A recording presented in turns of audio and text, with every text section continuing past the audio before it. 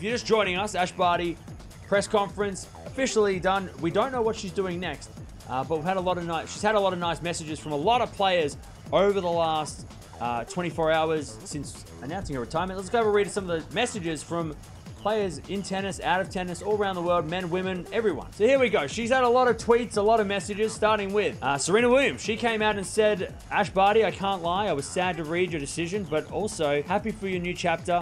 Always your fan, close up and afar. Sending all my love. So that's from Serena, the GOAT. Andy Murray came out and said, Happy for Ash Barty. Gutted for tennis. What a player. Uh, then you have Petra Kvitova, one of her rivals. Ash, I have no words. Actually, you were showing your true class leaving tennis in this beautiful way. I am so happy I could share the court with you.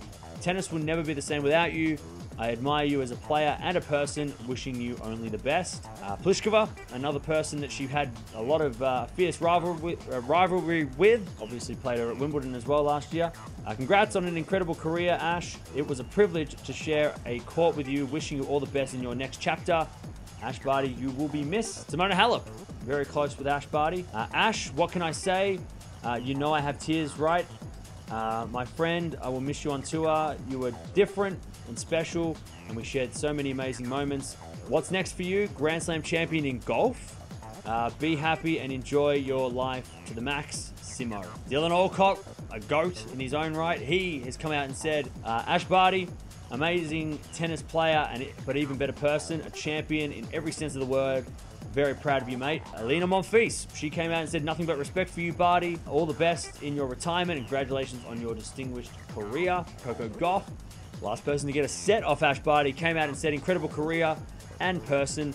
Congrats on everything you've accomplished so far and everything you will accomplish in this next chapter. Martina Navratilova, one of the greatest to ever do it, says, Dear Ash, you are leaving the tennis and sports world quite speechless and full of praise at the same time.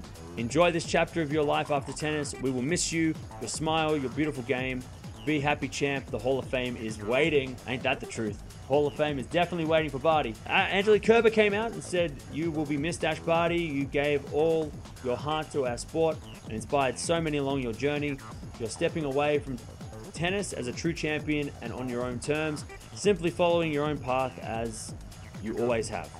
Uh, keep chasing your dreams. I know you will. And then the last message of support, or the last message of congratulations in retirement from one of the greatest. Billie Jean King, she comes out and says Australia has a rich history in tennis, and Ash Barty has represented it so well. I have no doubt she will continue to inspire and make a positive difference in the world. I wish her all the best in this next chapter of her life. So, but uh, there you go, Ash Barty. We're gonna, we're gonna, I'm gonna personally miss you because some of the best moments of this channel uh, have involved your matches, and it's to be sad having her not around. So I can't lose my mind and go crazy. But um, you brought us some a lot of joy, especially as an Aussie. And I know if there's Aussies in the chat, you guys will feel this too. As an Australian, she bought she bought us a Wimbledon. She bought us an Australian Open.